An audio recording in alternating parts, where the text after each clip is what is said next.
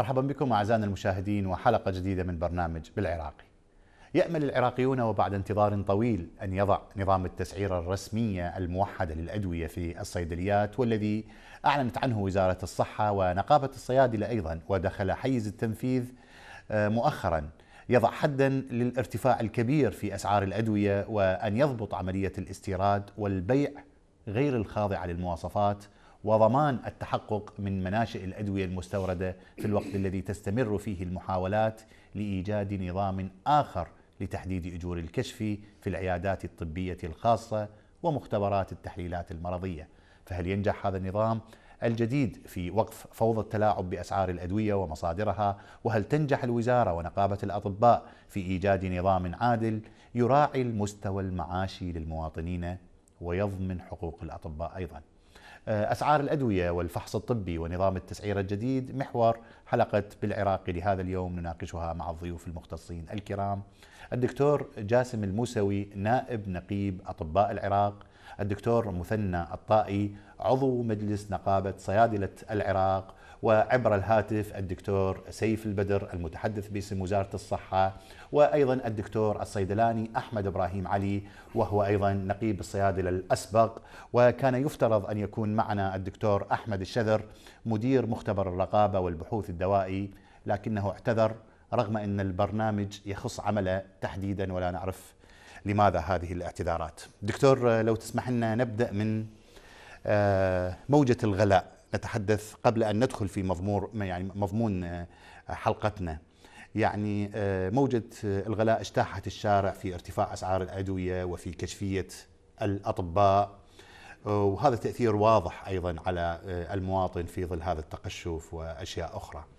كيف تتعاملون مع هذا الموضوع؟ هل لديكم دراسة بحثية ميدانية؟ كيف قرأتم واقع الشارع تجاه غلاء الأسعار؟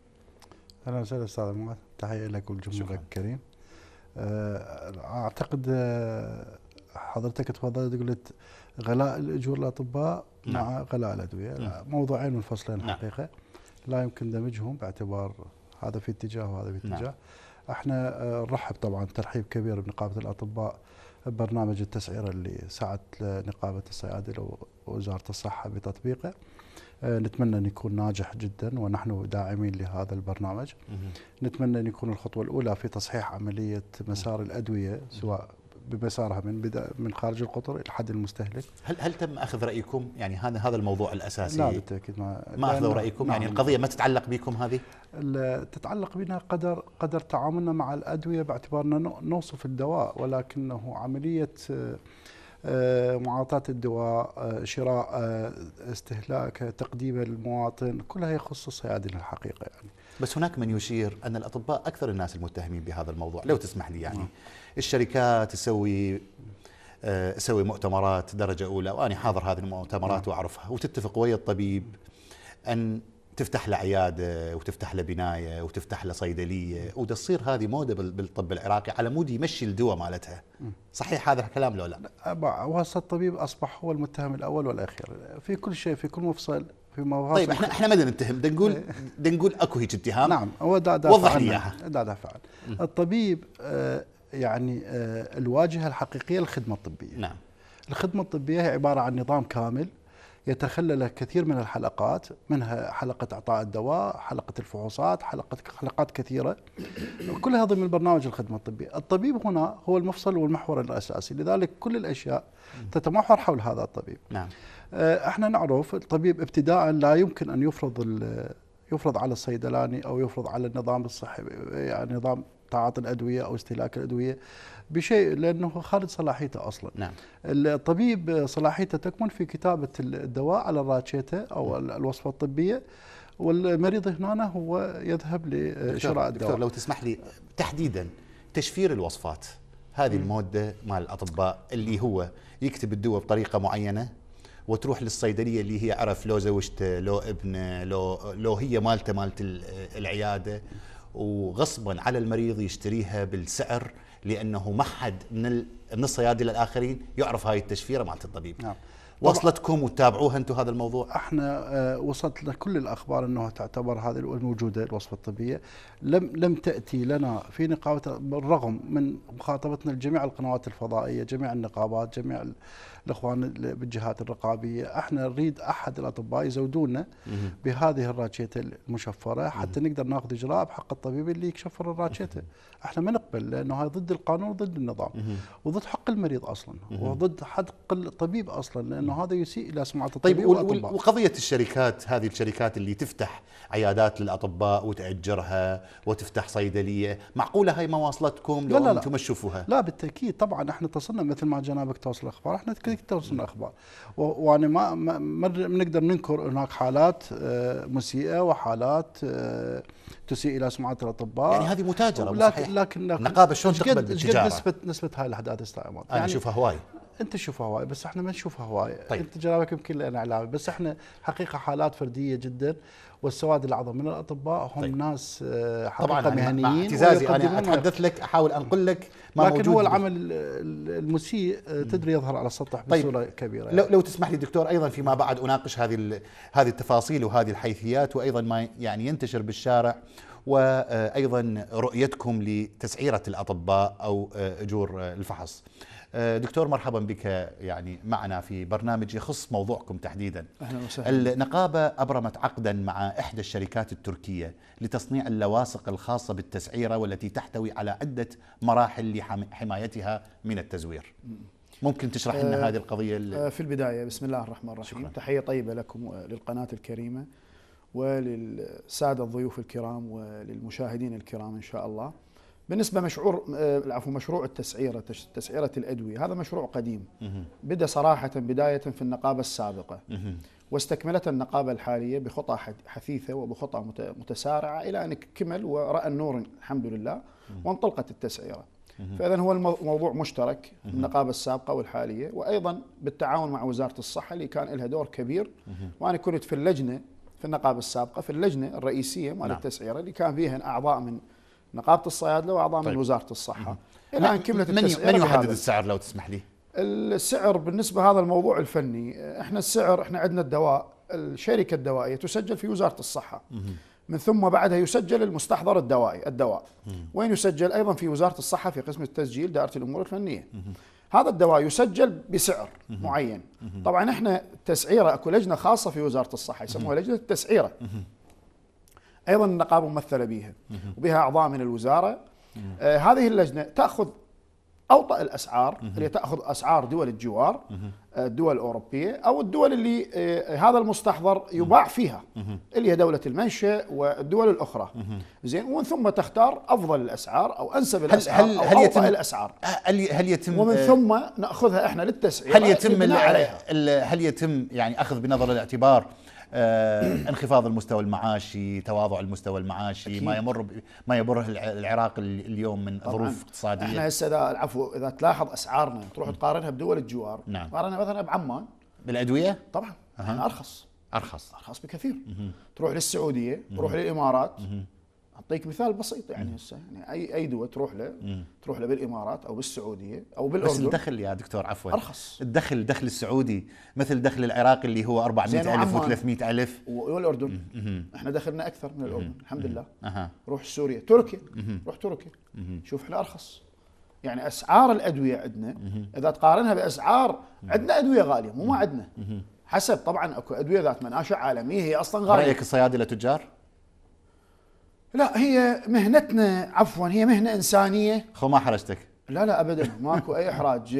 ثانيا هو مو كل تاجر. هذه النظرة هذه النظرة موجودة الآن بين العراقيين. هسه إحنا ممكن هسه صاحب القناة الفضائية ممكن يكون تاجر. نعم. أيضا هو مستثمر. طيب الصيدلاني هسه سؤالي. الصيدلي أنا أعتبره مزيج.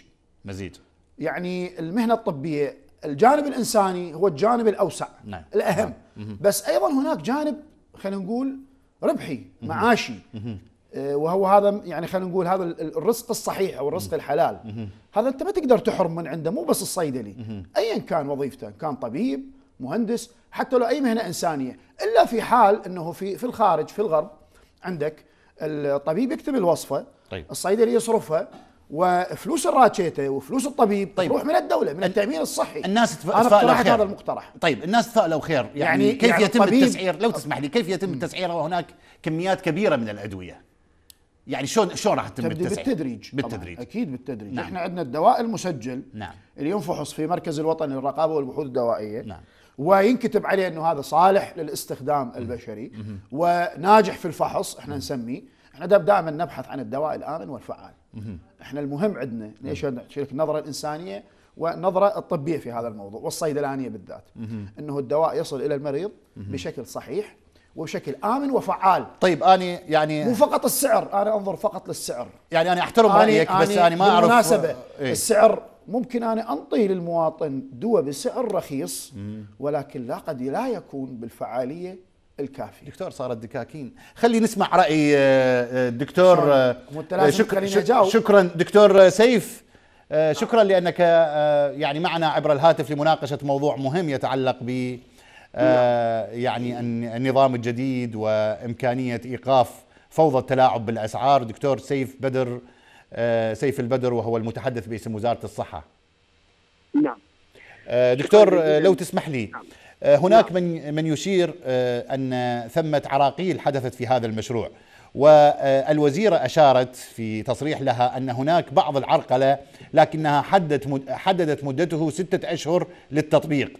آه، نعمل على مواجهة آه، أي تحديات وإيجاد الحلول السريعة لأي محاولات عرقلة. ما هو أسباب العرقلة؟ هل لديكم اعتراض؟ كيف تنظرون إلى الواقع المزري حقيقة فيما يسميه البعض الفوضى في التعامل مع أسعار الأدوية وأيضا أجور الأطباء، هناك من يشير أنها لا تتناسب ابدا مع دخل المواطن وأن هناك غلاء فاحش، كيف تعاملتم مع المشروع؟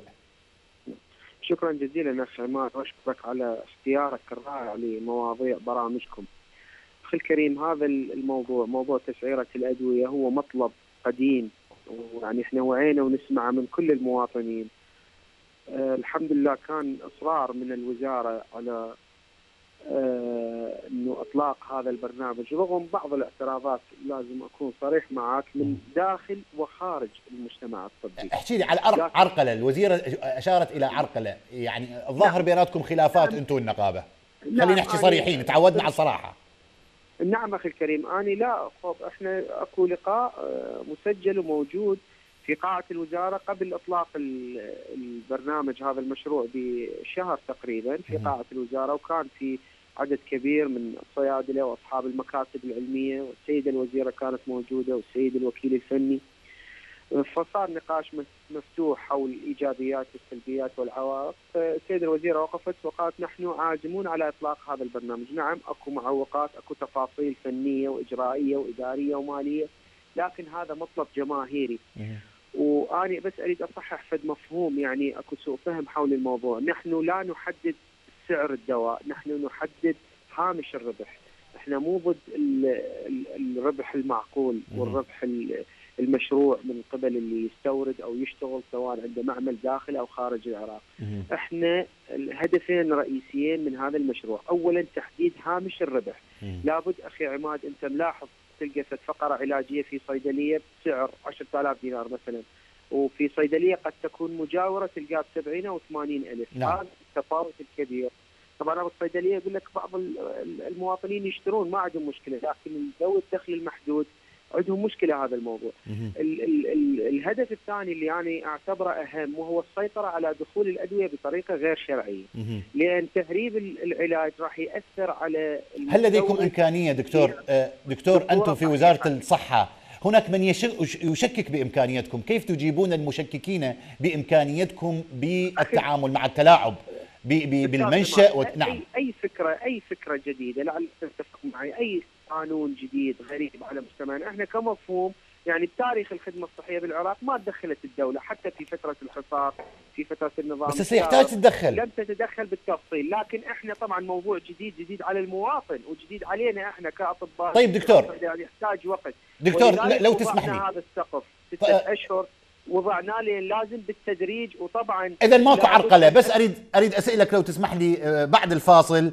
آه، حول أيضا تحفظاتكم على آه، سعر وأجور الأطباء أيضا في في هذا الموضوع لأن أنت مستعجل وعندك الكثير من المشاغل. طيب آه، نذهب إلى فاصل ونعود من جديد. شكرا جزيلا.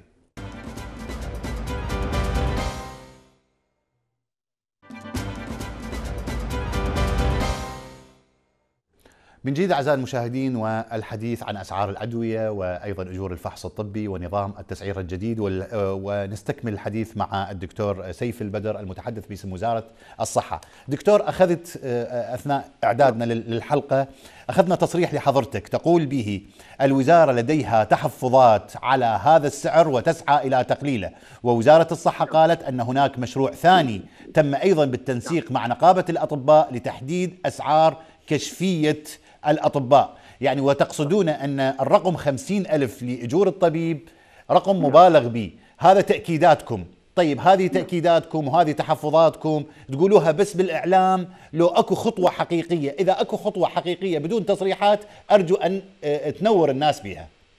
نعم أستاذ نعم توجد خطوات حقيقية بالتعاون مع نقابة الأطباء لكن حتى أكون صريح معك. نعم. العمل الخاص في العيادات الخاصة هذا خارج مؤسسات وزارة الصحة، إحنا مسؤولين بالدرجة الأولى عن المستشفيات، المراكز الصحية والمراكز التخصصية اللي تعمل ضمن الدوام الرسمي، م. ما بعد الدوام الرسمي إحنا يكون دورنا كإشراف كصحة عامة. بس بس أنتم جاي تقولون أنتم جاي تقولون عندكم تحفظات وتسعون إلى تقليله، هذا تصريحكم. إذا تسمح لي إذا تسمح نعم. لي أستاذ اولا من ناحية المبدأ العمل الخاص من حق الطبيب وفي كل دول العالم هو مقفول. وبالمناسبة صحيح ال ألف بالنسبة لذوي الدخل المحدود هي مكلفة لكن إذا حضرتك انت بنفسك تسوي سيرش على أسعار الأطباء في دول مجاورة برد نروح بعيد راح تلقى إنه إحنا هذا ال أقل شيء موجود، أنا مو معاه لأن إحنا على اتصال مباشر مع المواطنين حتى ال ألف بالنسبة للطبيب الاستشاري ويمكن الأخ من نقابة الأطباء يعطيك تفاصيل أكثر. نعم. إحنا كوننا على احتكاك مباشر مع المواطنين وشكاوى المواطنين حتى ال ألف وحتى ال 40000 وال 25000 يشوفوها. لكن أنا هذا الموضوع حقيقة دائما يذكر النسبة الأقل من الأطباء اللي كشفيتهم غالية. لكن إحنا ما نذكر الأعداد الكبيرة من الأطباء اللي هم مجانا يشتغلون أو هم بأسعار رمزية أو مخصص له يومين أو ثلاث أيام للمتعففين أو ذوي الشهداء وهكذا نعم. أني بس اللي أريده من حضرتك ومن شخص تسمعني إنه ما يصير الصبغة العامة والانطباع العام مه. على الطبيب العراقي هو مه. إنه ياخذ هذا المبلغ نعم. أنت إذا تشوف يعني مناطق محددة في بغداد ومن كل الأطباء أيضا دكتور يعني لو تسمح لي أيضا خليني نتجاوز دكتور لو تسمح. لي أنا متعود وياك. على الصراحة أيضا خلينا نتجاوز نعم. المثاليه ونتحدث بشكل واقعي. لو جايب لك الآن مجموعة لقاءات ويا الناس وهم يراجعون في في الاندلو في في صحيح. في الباب الشرجي وساحة الواثق صحيح. كلهم يعانون يعانون من طريقة نعم. تشفير الأطباء للأدوية يعانون يعانون من آه، مشكلة الغلاء الفاحش للأطباء المشهورين والكبار نعم. وأيضا صيادله صيادلة الأطباء اللي هم نفسهم يكتبون الدواء. أرجوك خلينا نكون صريحين. أستاذ عباد تحب الصراحة. نعم. اولا تشفير الشفرات هذا عفوا الراشيتات أو الوصفات هذا عمل مرفوض اخلاقيا وعلميا ومهنيا. وإحنا كوزارة صحة دارة التفتيش بالتنسيق مع النقابة. أي أي شخص يسمعني يثبت هذا الموضوع يعاقب كل من الصيدلاني والطبيب أو إذا وجد وصيف. لكن خلينا نحكي على موضوع الغلاء. إحنا إذا نروح إلى فلسفة المشكلة المشكلة بالنظام الصحي بالضمان الصحي. نعم نعم. اذا هاي مشكلة الوزارة إنه إنه في كل هسه مثل ما تفضل الدكتور انه إنه في دول الجوار العلاج أغلى كشفية الطبيب أغلى علاج الدواء أغلى وفحص الرذيل أو المفرط في الولايات المتحدة 1500 دولار مم. في حين إحنا بالعراق إذا مو ببلاش ب 25000 اللي طيب. أريد أقوله نعم. المشكلة بنظام الضمان الصحي نفسه نعم إحنا هنا نحتاج آه، آه، إعادة دراسة للضمان وإصلاحه حقيقة وزارة الصحة قدمت مشروع متكامل حول نظام الضمان الصحي آه، ولكن يعني بالجهات التشريعية ما لقينا التجاوب ونكبح هذا المشروع. في كل هذه الدول اللي بيها العلاج دكتور دكتور اسمح لي استثمر أستثمر وجودك أستثمر وجودك بأشياء دكتور نعم. بأسئلة سريعة ويا ريت إجابات سريعة. هل آه، نعم. يعني آه، البرنامج الجديد سينهي ظاهرة التلاعب بالأدوية؟ هل سيتم التحقيق من مصادر الأدوية؟ تثبيت الأسعار؟ نعم. هل نعم. نعم. نعم نعم نعم. ال ال ال طبعا هو ما راح يطبق 100% بنظام كفاءة. لابد أنه نحتاج وقت وراح تصير فروقات لكن إن شاء الله إذا نجحنا طيب. به راح نسيطر بنسبة كبيرة على الاستغلال بال- بالسعر. مم. والتفاوت بالأسعار ثانيا الموضوع الثاني راح نسيطر على التهريب دكتور أيضا قبل قبل لا أختم الحديث وياك آه، بعض الصيادلة يقومون بتأجير بناية كاملة تحتوي على شقق ومنحها عيادات لبعض الأطباء مجانا لكنه يقول أنه من مبدأ الظاهرة السلبية هذا هو بعض أصحاب المشاريع التجارية من غير المختصين كيف تتعاملون نعم. مع هذا الموضوع هل هذه. الظاهرة موجودة صحيح هذا أيضا من اختصاص النقابة أكثر من عندنا أيضا هم عمموا خصوصا أنا نعم. نعم. متابع بالفترة الأخيرة إنه ظاهره إنه غير الصيادلة اللي يملكون صيدليات أو مذاخر يعني من من خارج المهنة لا داخل طيب هذه الصفقات مع الشركات م- مسؤولية الوزارة ما لها علاقة صفقات مع الشركات ومع مذاخر أدوية ومنتجات منتجات الشركات مقابل يعني تحقيق أهداف يعني أبرزها الحصول على تذاكر رحلات سياحية و... مشروع التسعيره الدوائية. نعم. بما أنه راح يثبت السعر. نعم. سواء سواء من خلال شركة أو بدون شركة المعروفة وغير المعروفة. هذا نظريا راح يمنعه. فإحنا نعم. إيش ننتظر؟ طيب يعني هسه الوزارة الوزارة نعم. آه، آه، تريد تختم حديثك أنه الوزارة قادرة على لعب دور مهم في تحقيق حد آه، لا بأس به من العدالة. نعم ليس الوزارة لوحدها أخي طيب. الكريم لابد من التعاون مع النقابات نقابة الأطباء نقابة طيب أنا راح أسأل نقابة الأطباء الكريم نعم. والإعلام دوركم أساسي ولا بد الإيجابية أيضا من المواطن، إحنا معولين كثيرا على طيب. ال- الفضائيات الموضوعية وسائل الاعلام. وسائل التواصل الاجتماعي. في الترويج وترويج ثقافة الصحة ولعله هذا من من أهداف افتتاح إذاعة الصحة مؤخرا إنه نعم. إحنا هاي المشاكل هاي التوعيه نعم. وحتى يكون باب للشكاوى سريع والملاحظات الإيجابية شك. شكرا دكتور عندنا مشكلة بالوعي الصحي شكرا دكتور لأنك كنت معنا وساهمت شكرا. آه، رغم أننا يعني كررنا الدعوة للدكتور أحمد الشذر مدير مختبر الرقابة والبحوث الدوائية ولم يحضر إلى الحلقة. آه، شكرا دكتور آه، سيف. آه، دكتور آه، عودة لهذا الموضوع موضوعة آه، يعني تحديد مثل ما أشار الدكتور أن ال- الوزيرة والمتحدث باسم الوزارة لديهم تحف- تحفظات على سعر أو أجور الأطباء، كيف تعاملتم مع هذا الملف؟ هل تجدون يعني الكثير من يرى ويمكن المتابعين يعرفون أن أجور الطبيب هي معقولة في ظل الظرف وأيضا معقولة في ظل مقارنتها مع دول الجوار. آه، بالنسبة للأدوية نعم. النقطة الأولى. نعم. بالنسبة للأدوية ال- هناك تسعيرة نعم موجودة دت- آه، ترعى تطبيقها وزارة الصحة ونقابة الصيادلة. آه، ه- المشكلة هل هي في تسعيرة الأدوية أم هي بالاختلاف ما بين تسعيرة أنواع الأدوية؟ مهم. يعني أنت يجب أن تعرف حتى المواطن يعرف هناك نوعين من الأدوية في في السوق العراقية. أكو النوع يسموه ال generic يعني ال- المستنسخ أو أو الجنيس يعني وليس الأصلي نعم. يشبه حتى العاميه حتى يعرفوا الناس. وأكو الأصلي نعم. اللي هو ال brand drugs زين الأدوية ال- الأصلية. هذا سعرها يختلف تماما عن سعر هذه الأدوية. أغلب هذه الأدوية ال generic الغير أصيلة هو ذكر الدكتور سيف على هذا الموضوع. آه، قال هذه أدوية وتهرب إلى داخل العراق بطريقة أو بأخرى من قبل شركات من قبل مكاتب. يجب أن تسيطر على هذه الأمور. يعني عندما يجي الدواء لل- للمواطن عندما يروح للصيدلية وده ياخذ الدواء الصيدلاني يقول له شو تريد أصلي لو مو أصلي؟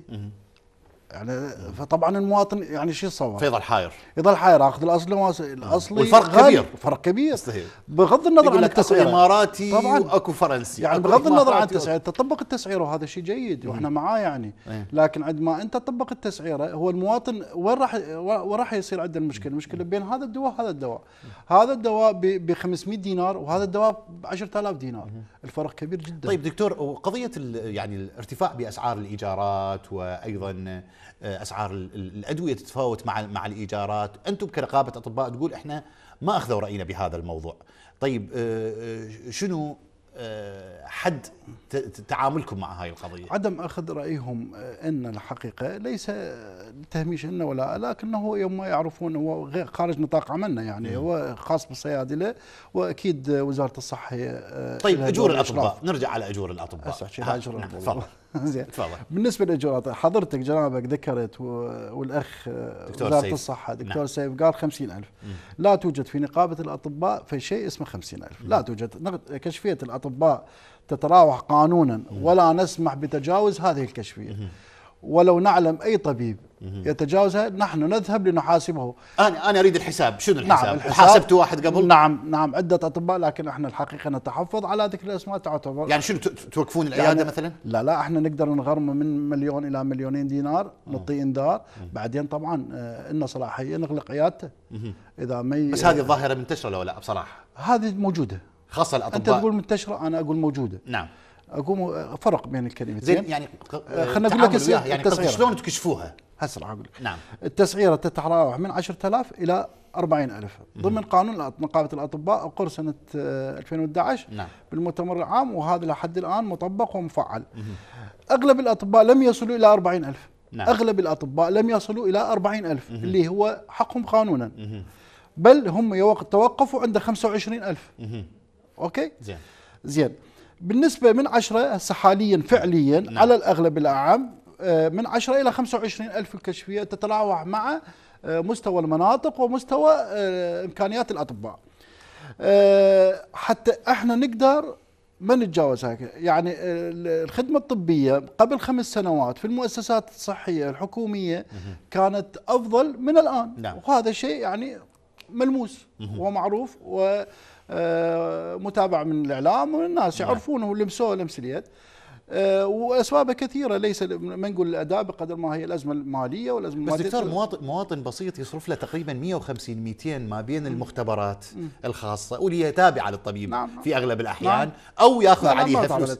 دكتور ما يأخذ نعم. عليها فلوس المختبر نعم المختبر من يحول على مختبر أطباء يأخذون. صريحين يعني أنا ما طيب. أقول لك إيه. هناك أطباء يأخذون أنا س... طيب. إحنا حتى هذه ما راح تقولي ظاهرة خلنا أوضب لك هم هم ما راح تقولي ظاهرة أوضب لك. الموضوع لو الكشفية من من الأطباء الخدمة الصحية بالمؤسسات ال- الحكومية نعم صار بها فد نوع من القصور اتجهوا إلى القطاع الخاص، القطاع الخاص له أسعاره يعني من زمان إلى أسعاره لكن الناس كانت تجد الحل عند المؤسسات الحكومية.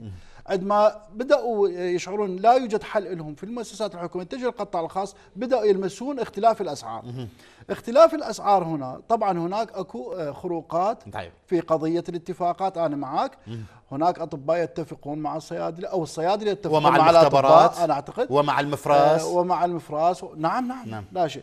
لكن ليست ظواهر منتشرة. أها. ولكنه تحاسبون عليها قانونيا؟ نحاسب عليها قانونا. وأنا ونحن أنا. طيب. والسيد النقيب أطباء.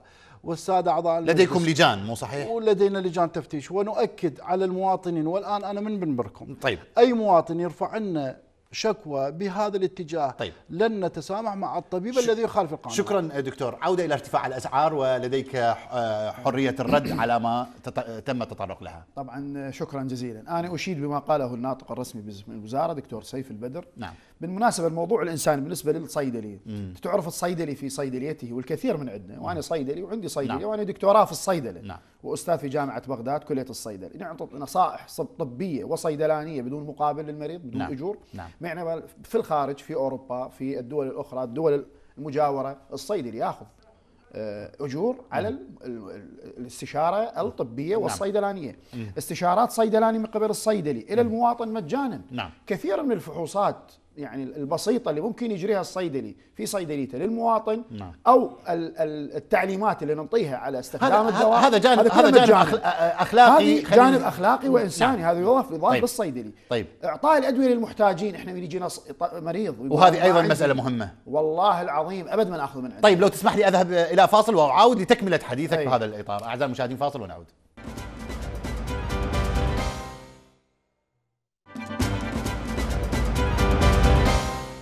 دكتور كنت تتحدث على الجانب الأخلاقي للصيادلة والتي لا يأخذون عليها أجور كثير. استشارات كان- الصيدلانية بشكل عام. يعني بالفاصل كان اعتراض من نقابة ال- الأطباء يقول هذه قضية غير قانونية لا أن لا يتم دكتور أنا أن رجل يت- أفهم بالقانون يعني أنا- هذا هذا رأي الدكتور آه، دكتور، وهذا موجود أنا- الدكتور أنا رجل دكتور أحمد ي- علي إبراهيم يقول. المفروض أي بس خل أكمل تفضل. يعني أنطيني حق الرد تفضل. ان شاء الله وأنت لك مطلق الحرية نعم. ان تحكم بيننا آه، أنا رجل أفهم بالقانون نعم. أنا رجل سابقا في النقابة السابقة كنت رئيس لجنة الانضباط واللي هي طيب. أعلى لجنة قانونية والدورة اللي قبلها في دورة اللي كان بها النقيب دكتور أحمد علي إبراهيم اللي حاليا على الهاتف أنا كنت عضو لجنة انضباط في نقابة الصيادلة. نعم. أنا أقصد الاستشارات الصيدلانية بس إحنا ندمج الصيدلانية مع الطبية. نعم. هي ليست استشارات طبية وإنما استشارات صيدلانية حول نوعية الدواء كيف كيفية الإعطاء الجرعة شلون تاخذه طيب. شنو فوائده شنو بعض ال- ال- المضار إنه أنا هذا الدواء ممكن آخذه بالليل أو آخذه بالنهار. هذا الدواء أنت لا تسوق دير بالك من تاخذه دير بالك تشتغل على ماكينة.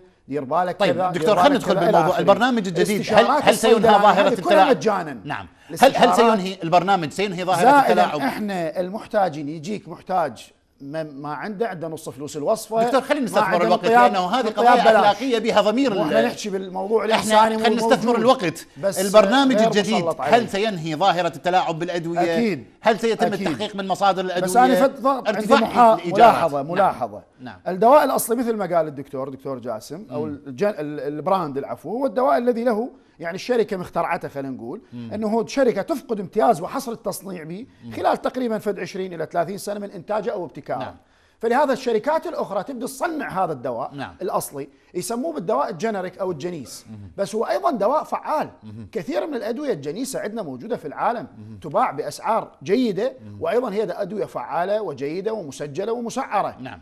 يعني مو شرط يكون الدواء الجنيس يعني دواء لا سمح الله يكون سيء أو غير جيد. لا كثير من الأدوية الجنيسة طيب. فقدت الشركات العالمية حق استثمارها. يعني صار لها 30 سنة من اختراعها. طيب. إحنا نسميه النوفل مالته يعني ال- الحق ال- التملك. نعم. فقدت 30 سنة.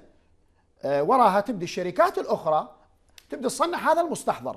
اللي الشركة الأم صنعته خلينا نقول؟ طيب شلون راح وهكذا. تتعاملون وياه بالنظام الجديد هذا؟ يعني كله يسعر كله يدخل في system وزارة الصحة.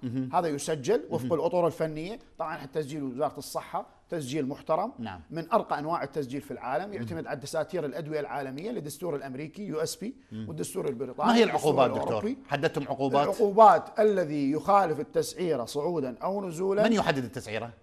الوزارة مو قلنا الوزارة الوزارة كلها. اسمح لي اسمح لي. مو هي سيستم كامل مو أنا إذا أشرحها راد نفس ساعتين للشرح. لا، لا، تفضل. بس أنا شارحه في حلقات سابقة بس مو نعم. يعني مو في قناتكم الكريمة في قنوات أخرى نعم التسعيرة تبدأ من الوزارة الوزارة راح تصنع سعر المصنع اللي هو قلنا نختار اوطى الأسعار من بين دول طيب. الجوار طيب. هذا إن كان للدواء الأصلي أو الدواء الجنيس نعم. ال- ال brand أو ال generic نعم. ومن ثم تضاف عليه نسبة المذخر نسبة ال- المستورد ونسبة الصيدلية. يصل الدواء مع تسعيرة مع label اللي انت حكيت بها هذا ال label اللي هو غير قابل للتزوير.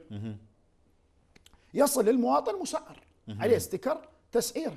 اللي هو رقم زين دكتور، هذه- هذه وسعر الدواء بالدينار العراقي. أكو صيدلية بالحارثية إيجارها كذا دفتر. وايجار صيدلية أنا بمدينه هسه حكيت الصدر. ويا أستاذ فلاح الذهبي حول هذا الموضوع. نعم. ويا أستاذ فاضل المعموري. تفضل. قلت له المشكلة إحنا يعني أنا بيوم من الأيام صبحت إجاني أبو الملك قال لي إيجارك 300 ألف صار مليون ونص. زين. أو صار مليونين. ينعكس على الدواء؟ ما ينعكس هو هو هو هو المفروض ما ينعكس. طيب. بس المشكلة من يحميني من المستأجر اللي رفع إيجاري إلى 3 ملايين زين. أو 4 ملايين زين. ما انطيته؟ إيجار. طلعني. زين الضريبة اللي كانت 250 شلون تتعاملون وياها؟ قبل كنقابة؟ 2003 هسه صارت الضريبة 3 ملايين و4 ملايين. زين. زين هاي منو منو يحميني؟ زين أنا كصيدلي تريدني ألتزم بتسعيره هذا النظام. أنا حلتزم بتسعيره لأن أنا ملزم بها لأن أكو عقوبات علي. والمواطن أنا بالنسبة لي أهم. أهم. خ- فائدة المواطن مصلحة المواطن. ال- الحلقة الطبية هي حلقة ثلاثية. الطبيب الصيدلي المواطن. نعم. المريض. زين؟ هذه الحلقة يجب أن تكون متكاملة ويجب أن تكون يسود الثقة بين أطراف هذه الحلقة الثلاثة. بس في نفس الوقت من يحمي الطبيب والصيدلي من يجي صاحب الملك أو صاحب العمارة ويقول له اطلع. هذا هذا النظام والنقابة ما. تسوي شيء ما تقدر ما تقدر. قانونا ما عندنا قانون ينظم إذا راح. يصير تفاوت بالأدوية هم يصير تفاوت. ما حيصير تفاوت لأنه إذا خالف التسعيرة هو صح حيتضرر بالصيدليه يجوز نعم. يعوف صيدليته نعم. يجوز يعزلها نعم. يجوز يعزلها يقول لك أنا ما صرف لي. إذا إذا حجم الرقابة جيد بهذا الموضوع جاي الرقابة جدا تراقبون جيد غالقين إحنا غالقين كثير من الصيدليات. هسه بهذا النظام الجديد هسه بهذا النظام الجديد أي صيدلية ما تلتزم تغلق. طيب لو تسمح لي آه، دكتور أحمد إبراهيم معنا على الهاتف آه، النقيب الأسبق للصيادلة وأيضا حضرتك أكاديمي ويا ريت آه، نعرف رأيك في النظام الجديد وإمكانية أن أن تكون ثمة عدالة في آه، في هذا الموضوع موضوع الأدوية وما هو رأيك في اختلاف الدو- الدواء من حيث النوع والمنشأ ومصداقيته وسمعته العلمية والشركة المنتجة آه، له؟ الموضوع الأول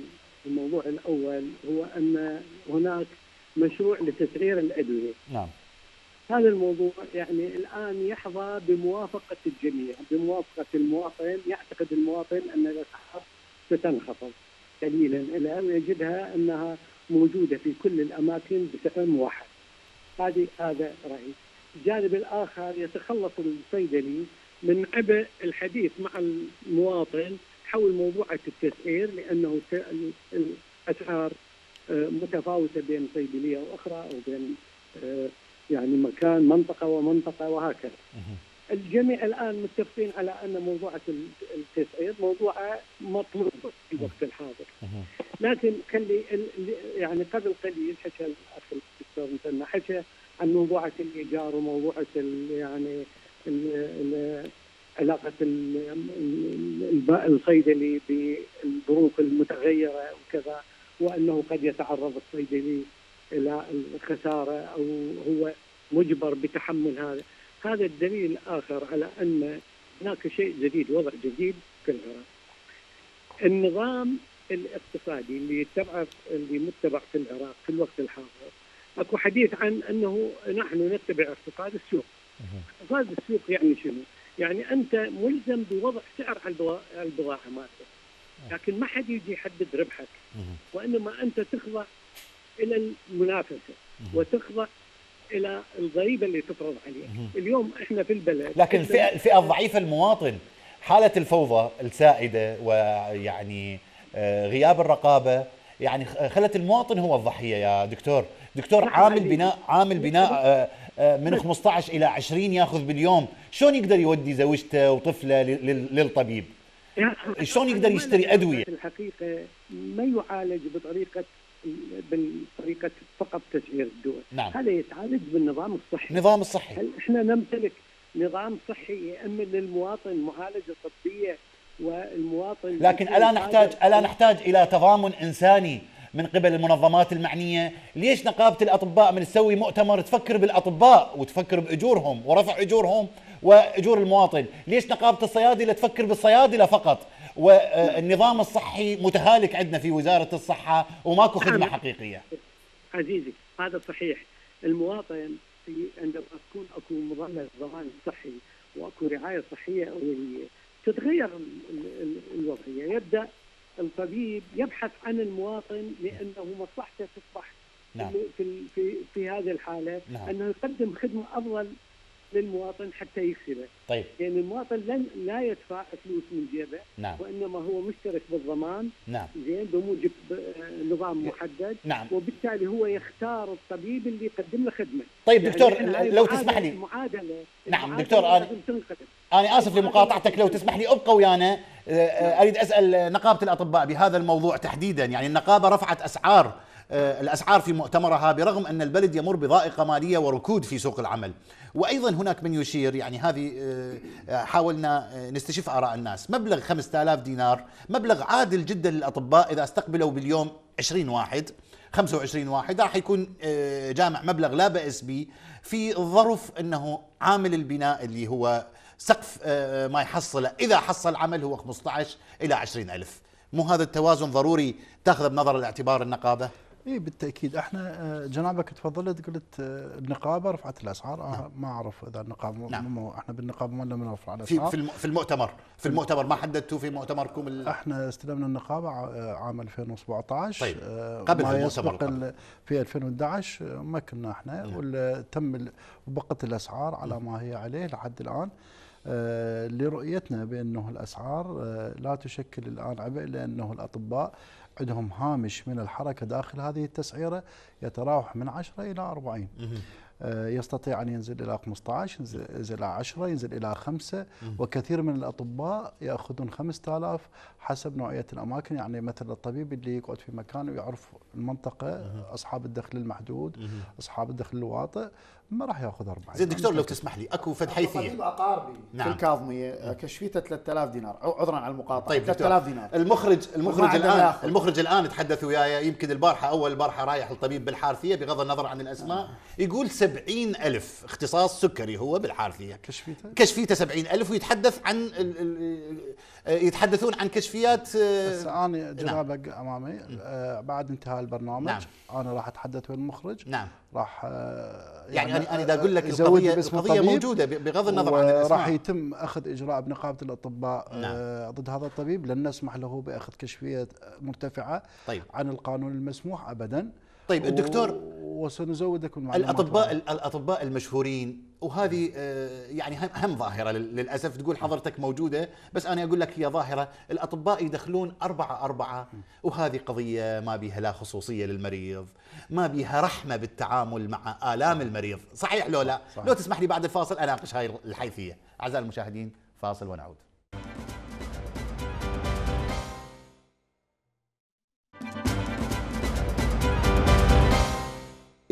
دكتور الكثير من الهموم ويمكن آه، وقت البرنامج ما يسبح مع الأطباء تحديدا مع غياب الرقابة مع هاي القضية اللي تحدثنا عنها في آه، جزء سابق من البرنامج.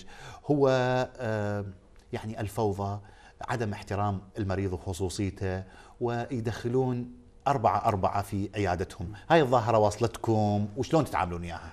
أستاذ آه، هناك أسس للسلوك المهنة الطبية. نعم.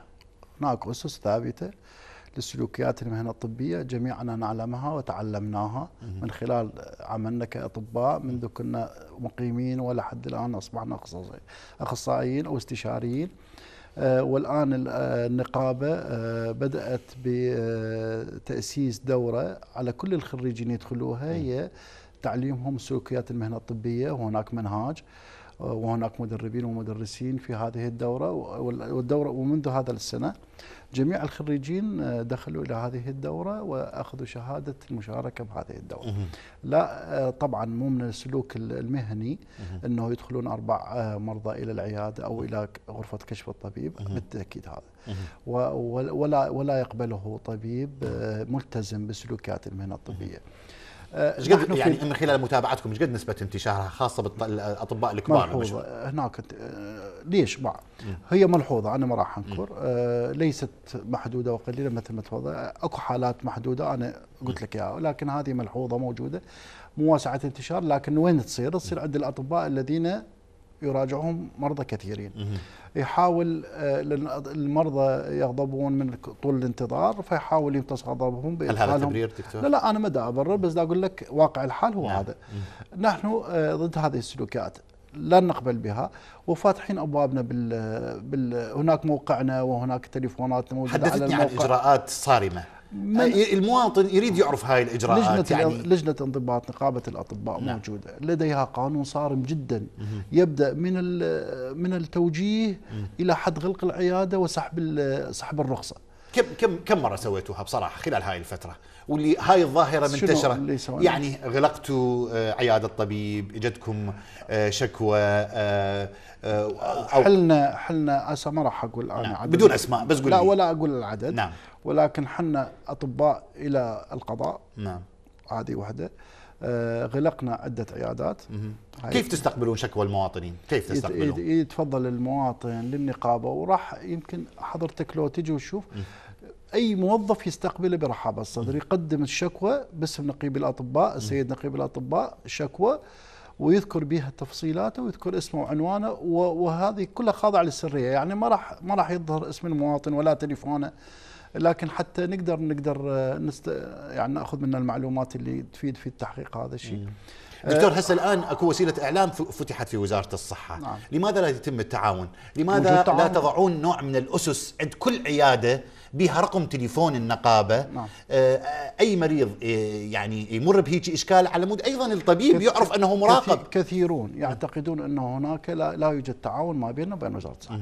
التعاون جدا موجود في بيننا وبين وزارة الصحة بل يومي أنا قصدي حدية الرقابة يومي. دكتور حدية الرقابة ومتعاونين لكن كم من مشاكل كبير أنت لذلك تلاحظ آه، تريد تريد الحل آني. نعم. والحل الآني الحقيقة صعب جدا. صار لكن سنين لكن بهذا الموضوع لا لا. النقابة صار لها سنة أرجوك. إيه لا لا يعني صار لنا سنين نحكي سنين بهذا الموضوع. طبعا لا لا سنين. إيه. لكن النقابه تاسست في نقابة الأطباء عادت للعمل بعد توقف. دام 14 عام بس نقول صار سنة. تقليل تقليل الجشع يعني آه طبيب صاير عنده عيادتين ثلاثة يحط ابن أخته ويحط ابن أخوه طبيب بسيط وهو عنوان لجان لجان صحيح لو لجان التفتيش. نعم. مستمرة بعملها في بغداد وفي كل المحافظات. وجاري يفتح أكثر و- من عيادة اولا. نسمع. يأخذ بناية كاملة ويحدد تغلق كثير من العيادات. غلقت صدقني كثير من العيادات غلقت ولا نسمع نعم. وإحنا فاتحين أبوابنا طيب. بس لإيصال المعلومات هسه مثل ما تفضلت السيد المخرج يقول صدقني ما راح أترك الموضوع يعني طيب. أو راح أوصل لك أنا, أنا أشكرك دكتور ويا ريت أيضا تفتحون باب يعني من الشفافية بالتعامل مع هذا الموضوع دكتور أنقل لك نقيب الصيادلة يقول في تصريح آه، نحو 60% من الأدوية الموجودة غير مجازة من قبل النقابة أليس ذلك يعني صعب عندما يقرأه المواطن؟ وهذا تصريح موجود. قد يكون التصريح آه، آه، يراد له تعديل يعني. نعم. هي مو غير مجازة. إحنا نعم. النقابة ما تعطي إجازة لل- إجازة الدواء أو استيراد الدواء. نحن نجي على الدواء الخارجي اللي نعم. يستورد من خارج العراق. هي تأتي من وزارة الصحة. بس عندنا في بعض الأحيان بعض الإجراءات تتعطل يعني في وزارة الصحة فيضطرون مع الأسف البعض إنه يدخلون بعض الأدوية بطرق أخرى بطرق يعني اللي هي بالبداية ذكرتها طرق التهريب. هذه بدأت تنحد هذه الظاهرة بعد موضوع التسعيرة بعد موضوع التسهيل في فحص الأدوية في آه، تسجيل الأدوية في وزارة الصحة، المسيطر الكنترول هنا على على على استيراد الدواء هي وزارة الصحة، طبعا بالتعاون مع النقابة، بس الأول هي وزارة الصحة. هذه الإجراءات من تسهل؟ إجراءات تسجيل الشركة، تسجيل الدواء، إقرار الدواء من قبل الهيئة في وزارة الصحة، وفحص الدواء في مختبر الرقابه الدوائيه، كلها سهلت حاليا، فبدت انسيابية الأدوية تشل تصل بشكل صحيح. وتصل بشكل أسلس وأكثر سلاسة.